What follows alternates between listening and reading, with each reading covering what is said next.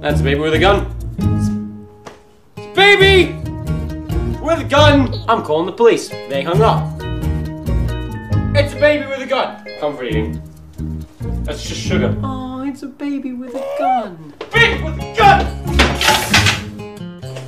Who sent you? Was it Brian? I'll buy him a new title. Does my life insurance cover babies with guns? Oh, really?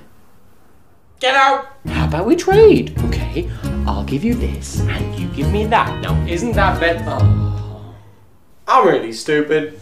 Oh, it's not nice, is it? No, huh? I'm a man with a gun. What are you? You're a baby with a gun. You're nothing. I'm sorry, that was mean. You don't deserve that. You're young. Just take mine. Oh no, it's a baby with two guns. Where's the baby? There's the baby. Why don't you leave? Get out of